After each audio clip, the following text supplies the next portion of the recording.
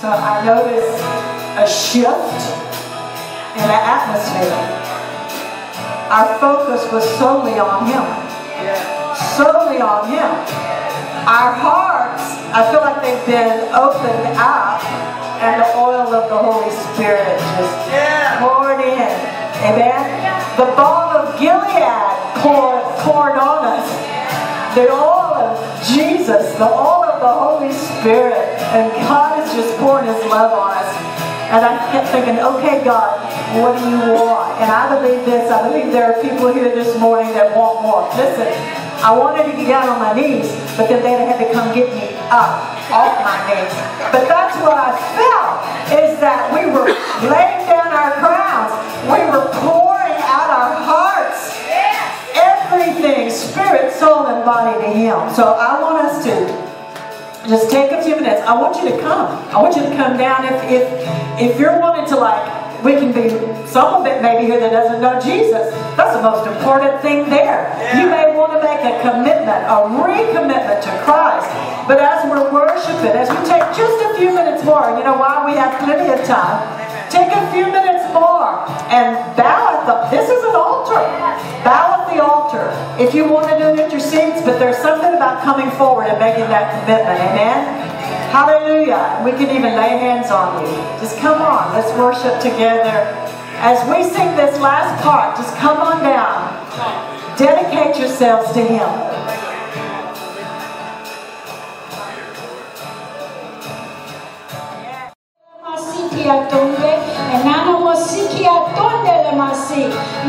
See, I see, for I hear the Spirit of the Lord saying, He, he, or she who raises their hands to me, it is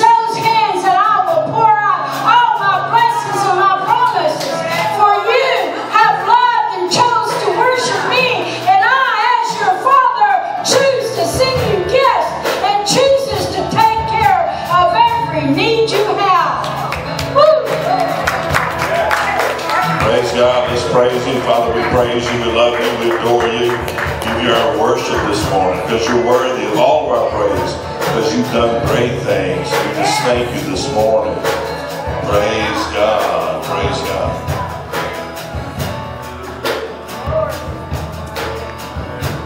Back in the day, whenever I used to go to kids camp, I remember Pastor Rachel, Rachel Birchfield, what she used to say is the way that we spell worship is P O U R.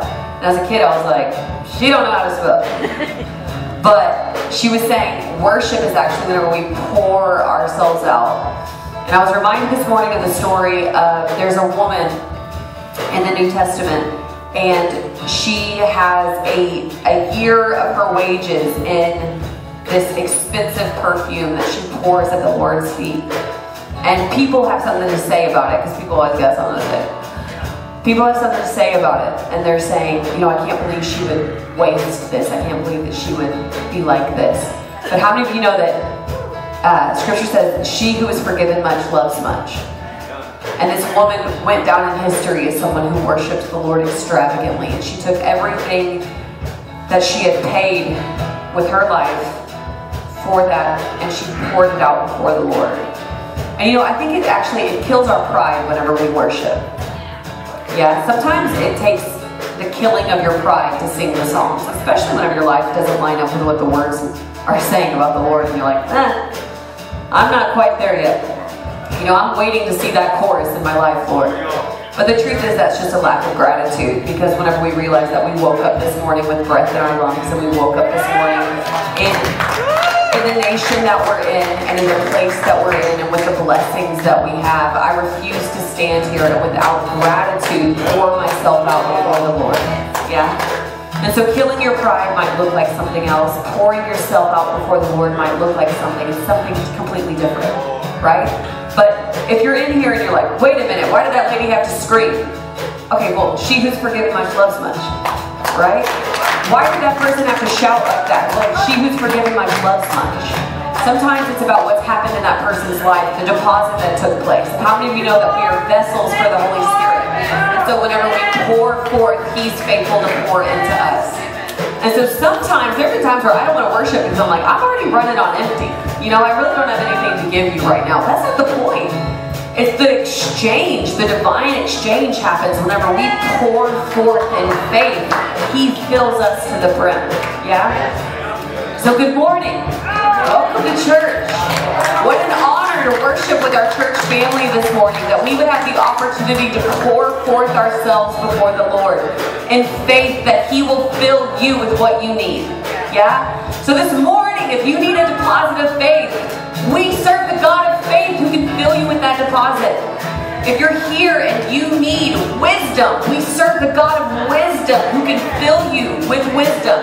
If you need healing, we serve the Lord, the Almighty, who is our healer, right? Our provider. Whatever it is that you need this morning, welcome to the divine exchange, which is the presence of God. We are excited to see you. And what we're going to do for the next few minutes, we're going to transition the service. We're actually going to greet each other for three minutes, and then we're going to continue our worship and giving. Right? So we'll see you in three minutes. All right, praise God. Well, today I'm going to preach on the river of blessing. God has a river of blessing. I'm going to tell you how to get into his river of blessing. Now, the word blessed means happy, fortunate, and prosperous. Blessing is the ability to uh, succeed over, rise up over adversity. And so, blessing is not something that you can do on your own, but it's something that God gives. I love to hear people say, I'm blessed, because it means that they have a relationship with God. They don't just say, I'm lucky, but they say that I'm blessed. So, Watchman Nee said, everything that we do in God's service is dependent upon His blessing. And that's true. You can try to do things on your own and not be blessed, but when God blesses it, things happen because God can do so much more than what we can do. And so Jesus took five loaves and two fishes, he blessed them, he broke them, he fed 5,000 people. The miracle of multiplication. And so everybody wants to be blessed. They pray, well, God bless what I'm doing. But the best way to get blessed is to find out what God is blessing and then do that. Amen? To the saying, God bless me, say, God, I'm going to do what you said you're going to bless. And when you do what God said He would bless in His Word, you get into the river of blessing. Amen? And uh, so there's a theme of blessing that flows throughout the Bible. And this is really amazing. But it begins with Abraham and it flows all the way through the New Testament and climaxes in the Great Commission. And so God's blessing starts with a man named Abram who lived in Mesopotamia, which is modern day Iraq. And so God chose Abraham and he said this to him in Genesis 12 Go out from your country and your kindred and your father's house to the land that I will show you, and I will make you a great nation. And I will bless you and make your name great so that you'll be a blessing. I'll bless those who bless you, and him who dishonors you, I will curse. And in you all the families of the earth shall be blessed. And so God tells Abram that he's going to make a great nation of him, and through him all the earth is going to be blessed. You know, that must have blew his mind because he's thinking, you know, he's just a, a man living out in the middle of nowhere. How's the whole earth going to be blessed through him? But he went looking for a city whose builder and maker was God. Come on, he just, he left his home and took off just in obedience to God. And so later it says that Abraham was rich in cattle, silver, and gold. And so the blessing of God came upon him and made him rich. And so Abraham had multiple herds and a whole lot of livestock. His nephew Lot also had a lot of livestock. And so the town wasn't big enough for both of them. Come on, have you ever heard that before? So it wasn't big enough for both of them. There wasn't enough grass for all their herds. And so Abraham told Lot, he said, You choose the land that you want, and I'll take whatever you don't choose. And so Lot chose the best for himself. He chose the well watered plains of Sodom. And so Abraham took the high arid land and let Lot, let Lot have the best. But later, Lot lost everything when God destroyed Sodom and Gomorrah. But Abraham was still rich. Why is that? Because he's blessed. He's going to be blessed wherever he is uh, not because of his location, but because he has a blessing of God upon his life. Amen? And so, God's blessing was not just to Abraham, but it was to all of his descendants. And so Isaac, his son, planted in a time of famine, and he reaped a hundredfold return. Well, Isaac had a supernatural multiplication because he was blessed. Amen? Because the promise of God to Abraham. And so God told Abraham, I'm going to bless you, but I'm going to make you a blessing. Sometimes people want to be blessed, but they don't want to share that blessing. You know, so God blessed me, and they want to keep it all to themselves. But Abraham was blessed to be a blessing. And that's the whole secret right there. When God blesses you, you bless other people too. Don't keep all the blessing for yourself. Because if you let some of it flow out, God's going to fill up your reservoir again. And so God wants us to be a conduit for His blessing. The Dead Sea is dead because nothing flows out of it. And the same thing happens to a person in every area of life, but also in their finances. If nothing flows out, you're going to end up being dead financially. And so when you bless other people, it activates your covenant with God. And so Abraham had Isaac, and Isaac had Jacob, and Jacob had 12 sons who were the 12 tribes of Israel. And so they ended up being uh, going to Egypt because they needed food and got that from Joseph, but they ended up being slaves in Egypt after a period of time. And so God sent Moses to deliver them out of Egypt. Then Joshua led them into the promised land. They won their battles. They had kings. They lived for God for a period of time, and then they backslid. And so they were carried off into captivity for 70 years. And then after 70 years, they came back and they rebuilt the city of Jerusalem. And at that time, God's promise to Abraham had only partially been fulfilled.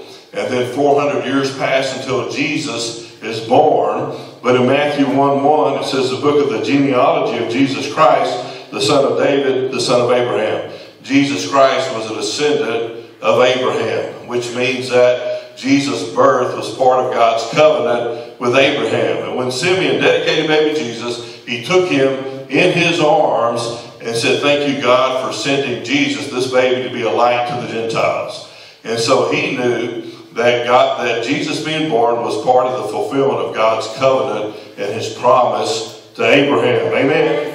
And so Jesus lived a life, he worked miracles, he taught, he trained disciples, and then he was crucified. Then he rose from the dead. He ascended into heaven. But before he ascended, ascended into heaven, he told his 12 disciples to wait in the upper room for the promise of the Holy Spirit.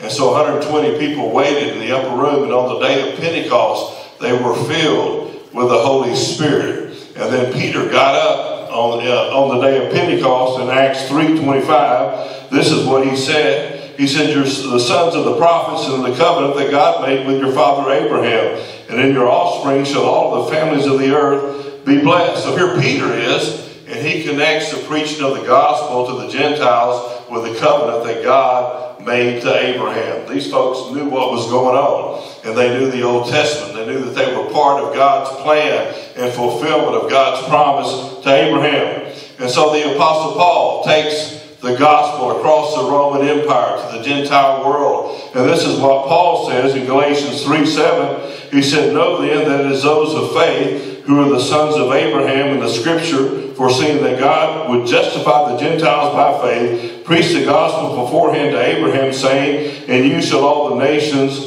be blessed. God's in the blessing business. He wants to bless all the nations. God loves you. He wants to bless you. Yeah. But, he, but it's not a selfish love. He wants to bless everybody. Yeah. Amen. God's not willing that any perish. And that's our purpose upon the earth to take the gospel to everybody so that they can receive the blessings of God.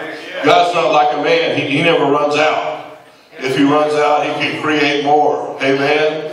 And so there's no limits upon God. And so God's big enough to bless you and everybody else in your town and everybody else in the world. Amen? God knows how to do it. And so Jesus' last words are, Go you therefore make disciples of all nations, baptizing them in the name of the Father and of the Son and of the Holy Spirit, teaching them to observe all that I have commanded you. And so Jesus sent his disciples into all the world as part of the covenant and the promise made with Abraham. Amen? And so the Great Commission is to preach the gospel in all the earth.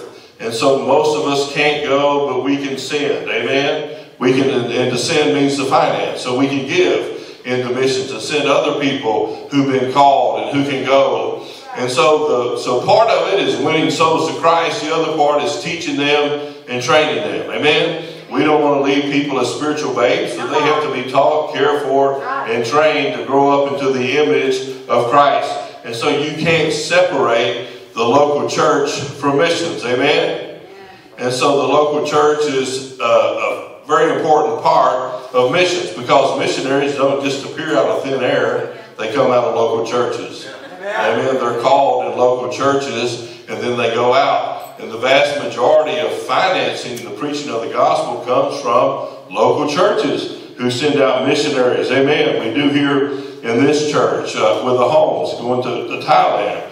And so this church has planted another church in Thailand if you're new and you didn't know that. Praise God. God's used us to have another congregation of, of people in a, a, Hindu nation. Amen. Or not Hindu, it's uh, Buddha. Buddha, okay? They worship Buddha. So, uh, and I think it's only maybe less than 1% Christian. And so God has used our church to be able to do that, win souls in Thailand. And so God's river of blessing is to bless the world through the gospel of Jesus Christ. And when we become a part of that, we get in God's river of blessing. You know why God takes care of tithers? Because they're supporting the preaching of the gospel. And He knows that if, if they're willing to do that, He puts finances into their hands. And the same thing is true when we give missions. If we're willing to give missions, and that's an offering above our tithe, God will put the finances in our hands to be able to do that because God has to finance His kingdom, and He's chosen to do that through you and me. So we can have a part so we can have an eternal reward. So one day when we go to heaven, people say, Thank you for giving because I'm in heaven because you gave. Amen. That's the result of our giving. So you can't see the result of your giving right now. This church has touched hundreds and thousands of people. A lot of churches have come out of this church, people who were raised in this church, and even their grandchildren, their children and grandchildren. And so if you if you look at the results of this church, my father being here for 50 years, you would be able to count thousands of Christians that came out of this little town. Uh, why is that? Because that's God's plan for blessing the whole earth. Amen. So when you get involved in things that God cares about, you get in the river of blessing. Amen. When your heart becomes God's heart, then you get blessed. And so God wants to bless us so that we can be a blessing to other people. I don't know about you, but whenever I get blessed and I get unexpected money, you know, I tithe to my church, but also bless some other people too. Amen. And include them. And use this God speaking to you and saying, well, no, help somebody or, or somebody else. Um, and so we can never give away more than God can give to us. God's not a miser. Did you know the word miserable comes from the word miser? And so most misers are miserable. They don't think that there's going to be any more. So I got to hold on to everything I have because there, there's not going to be any more. Amen. But that's just the opposite of what, what Jesus said to do and what God said to do. Amen. Because when we give, God gives back to us, which means we can afford to give. Amen. Because God will give back to us. I've seen that word many times. But the blessing of God makes rich. Uh, Proverbs 10 22, the blessing of the Lord, it maketh rich, and it addeth no sorrow with it. You know, the world can get rich on their own, but there's sorrow many times that comes with that. You can read the news sometimes and see all the sorrow that has come with people. And sometimes their, their riches and their money become a curse to them. But it's a blessing of God that makes rich. And so Jacob was blessed by Isaac. He was in uh, the lineage of Abraham. He was blessed by his father Isaac. And then he went to work for a crooked man named Laban who kept changing his wages and it wasn't fair, and he had to work 14 years for the woman he loved. But God gave him an ideal that prospered him. And so he ended up being wealthy. And he was more wealthy than the guy that he worked for. Another guy was a crook, and he was honest, but he ended up being wealthy. Why is that? Because of the blessing of God. Amen. One of the ways that God blesses us is give it, He gives us ideals. Amen. And I find out those ideals come, one is I pray in the Spirit, but also as I give. Amen. God brings ideals. And so Joseph was blessed by his father. And his father gave him a fancy uh, uh, a coat. And so his, his mistake was wearing the coat. And uh, he wore the coat, and his brothers were jealous because they didn't get one. And so they sold him into slavery. And so when God gives you a dream, it doesn't mean you're supposed to tell everybody. Amen. It may just be for you and and uh, and your wife. But if you tell your wife, she'll probably tell everybody. But anyway, I'm just joking this morning. But uh, but he was blessed. So anyway, so he ends up being a slave. He's in Potiphar's household, but he rises to the top of Potiphar's household, and then somebody lies on him, and he goes into the prison. And it sure didn't look like the blessing was working. How many know sometimes it doesn't, doesn't look like the blessing is working? Sometimes it doesn't look like your tithing and giving is working, but it is. Amen. If you remain faithful. And so things come and things go, and sometimes we're attacked. Joseph was thrown into prison, but God gives him a way to get out of prison. He ends up being second in command of the nation, which was the most powerful nation on the earth at that time. And so he's the second most powerful person on the earth, and he was an inmate. That's got to be God. Amen. And so it was a blessing of God that came upon our life. The blessing of God empowers you to do what you cannot do on your own. My dad used to say that the Holy Spirit will make you look smart. Yeah. Amen. He can give you ideas that you probably never would have had. And that's the insight that comes from the Holy Spirit. Now, I know people can get money without God's help. You know, the drug lord, El Chapo Guzman, had billions of dollars, but he ended up in prison. Elvis Presley died when he was 42 of a drug overdose. He had hundreds of millions of dollars, but his money brought sorrow, even though he had everything. And the sad thing is that Elvis still makes 40 million a year, 40 some years after he's dead. A dead man makes more money than you. Isn't that sad? But Elvis doesn't get to spend any of that money. And I'm not even going to say, well, maybe, uh, I hope Elvis went to, to heaven, but praise God. Uh, so, so anyway, the blessing of God makes rich. And so there's a blessing promised to those who give into the kingdom of God. And so when we're obedient, God blesses us. And I believe generosity is one of the keys to God's blessing in our life. And so Malachi 3.8 says, Will a man rob God? You rob me, but you say, Wherein have we robbed you? In tithe and offerings. You're cursed with a curse, for you've robbed me, even this whole nation. God said they had robbed him in tithe and offerings. Amen? Which means we should give tithe and offerings. And so the word tithe means 10%. And it's the only place in the Bible where, where God tells you how much to give. Amen?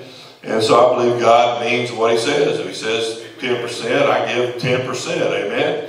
And so that's the only place where it says that. And some people read 10%, but then they say, well, I'm going to give a little bit less for this reason or that reason. Amen? but you won't get the blessings of a tither unless you give 10%. Amen? Uh, and so, you know, if you got an electric bill for $200, how many would send it $100 thinking that they would accept that? If you did that, you're probably going to get your electricity cut off. And that's just electric company. Now, can you imagine? Sometimes people do that with God. And so if God asks for a certain amount, I'm going to give that amount. That's obedience. And so we should give offerings above our tithe, but the Bible doesn't tell us how much offering to give. But just because it doesn't tell us how much offering to give doesn't mean that we shouldn't give offerings. Now, when I first got saved, I started tithing. So me and my wife both had good jobs, and our tithe was quite a bit of money. And so we went to a church, and there'd be guest speakers and different things, but I wouldn't even give an offering above my tithe because I thought, because I was kind of a tabloid uh, at that point in my life.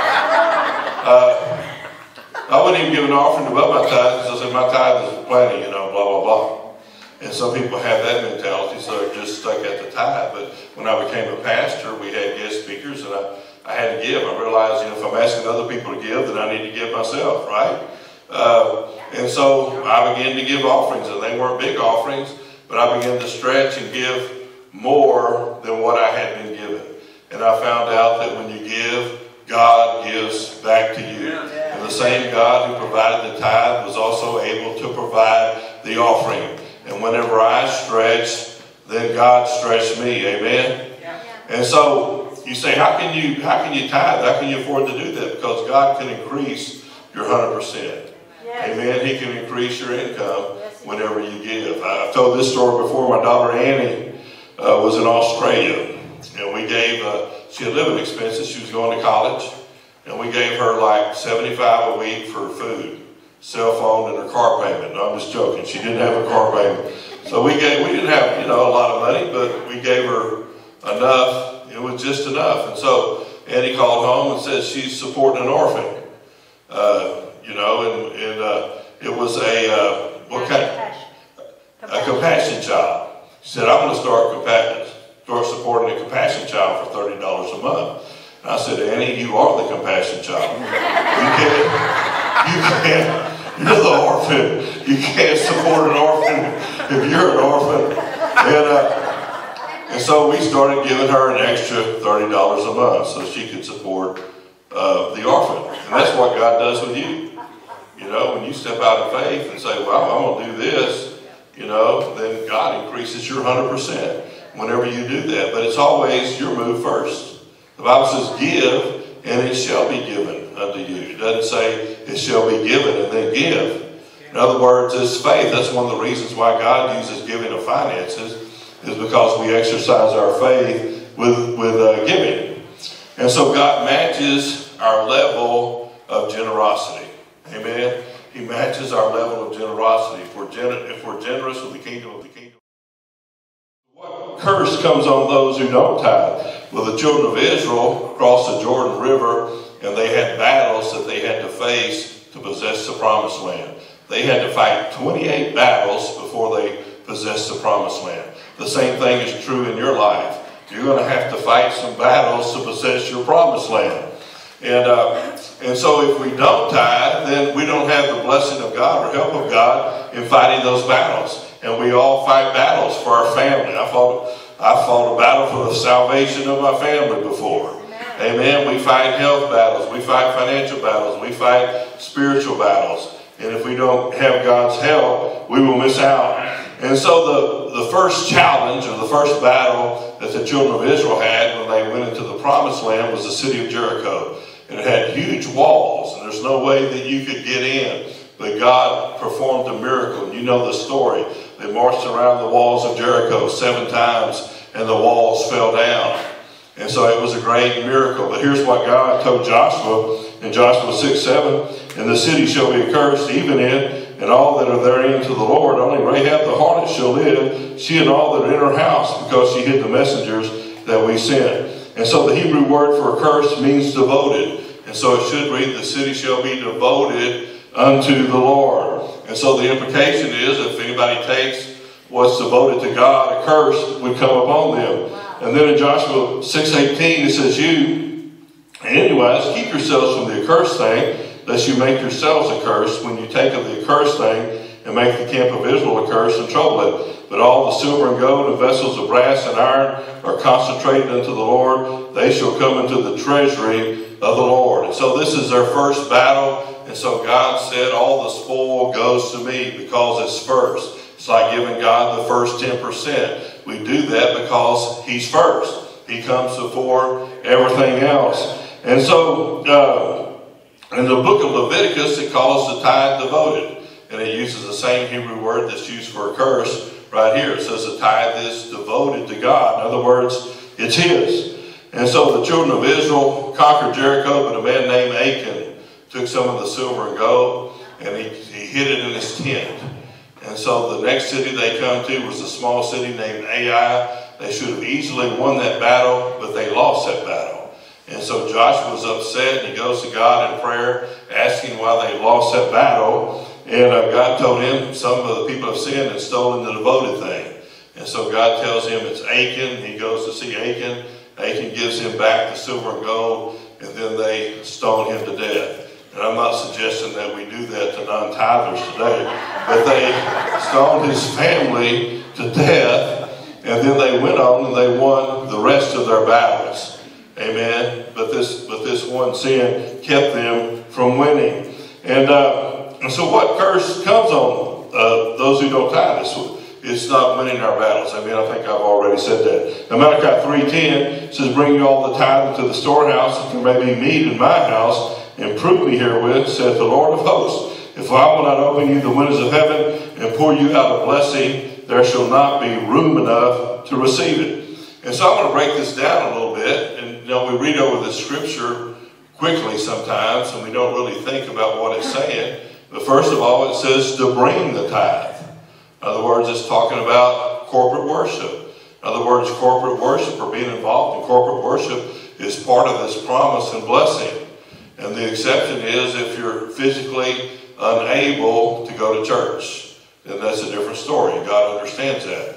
Or you live in Antarctica or someplace like that and it's too cold to get out and go to church. But otherwise, we should all be part of a local church. And it says, bring all.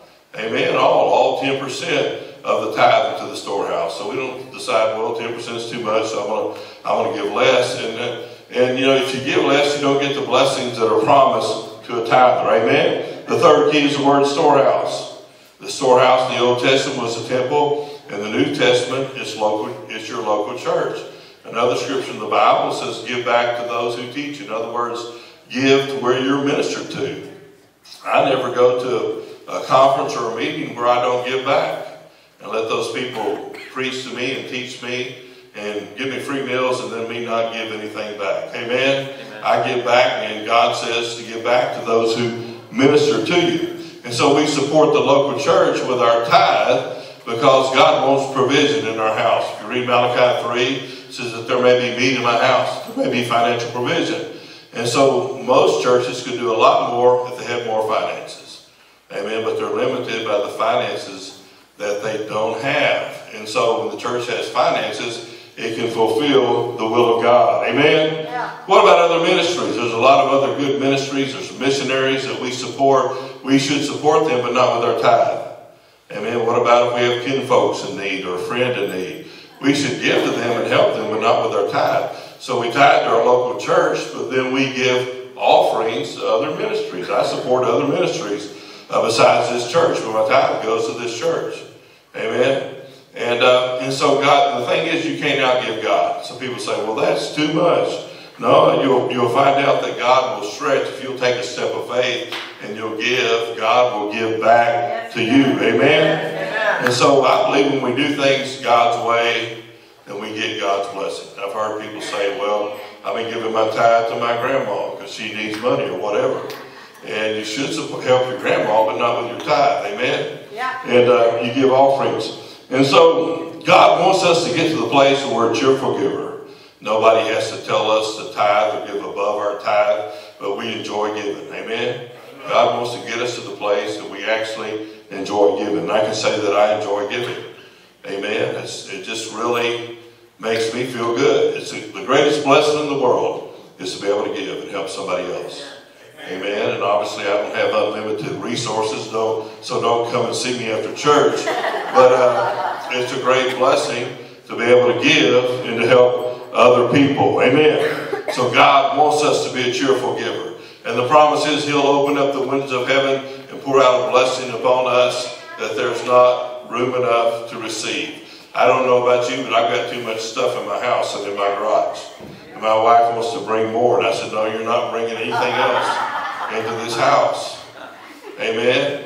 And so I've got more than I need. So God said, you'll, if you'll tithe give offerings, you'll have an abundance. You'll have more than you need and, and enough to give over to other people. That's God's ideal for us, that we be blessed and have enough to give to every good cause, have more than we need.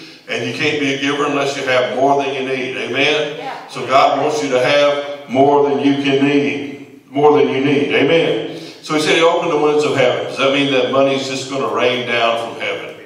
No, it doesn't mean that. When the Bible speaks of windows, it's talking about opportunities. Amen. So God will send opportunities your way for your financial needs to be met.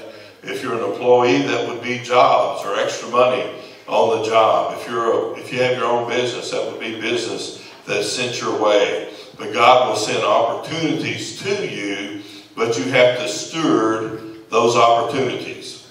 Doesn't mean just because you're tither doesn't mean you don't have to work. Say, well, if I tithe, I can work and, and not be blessed. No, you still have to work. You have to steward the opportunities that God sends your way. Sometimes God sends opportunities my way, but I have to make the effort to be able to take advantage of those opportunities. And when I do, finances come in. And so sometimes God gives us ideals. Amen.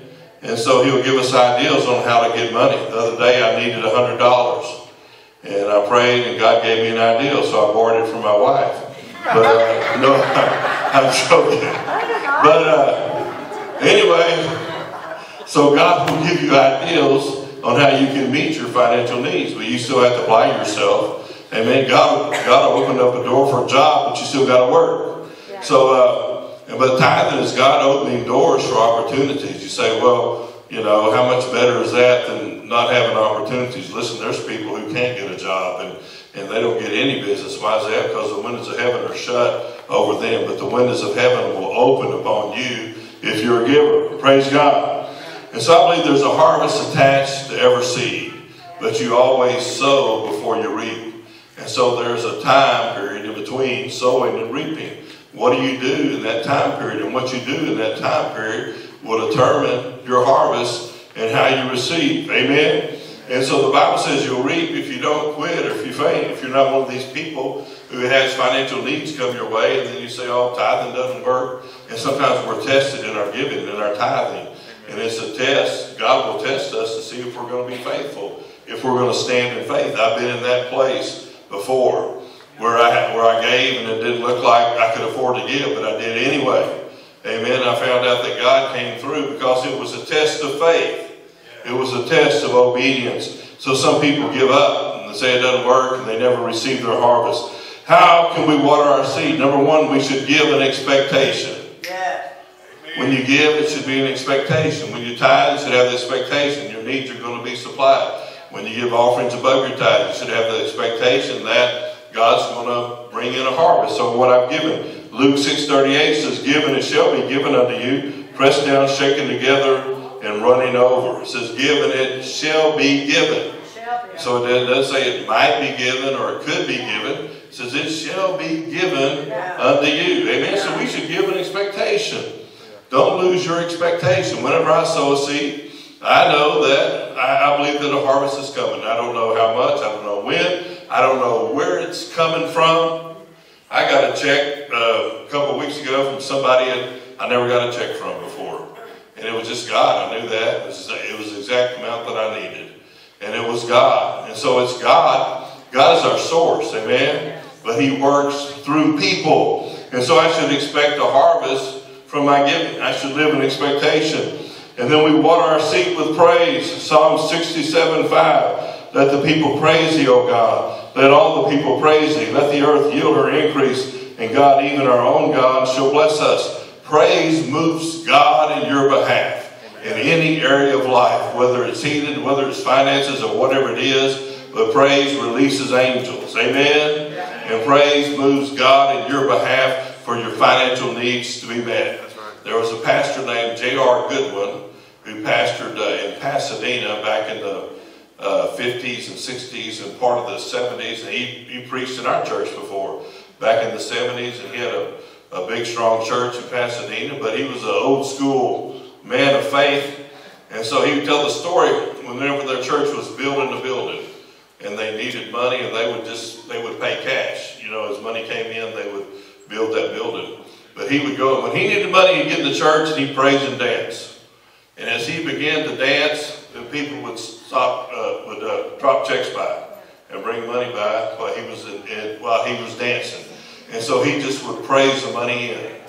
Amen. He had needs, but instead of griping about it or worried about it, he just began to praise God. As he began to praise God, God met his needs. Amen. Sometimes the greatest demonstration of faith is praise in the midst of adversity.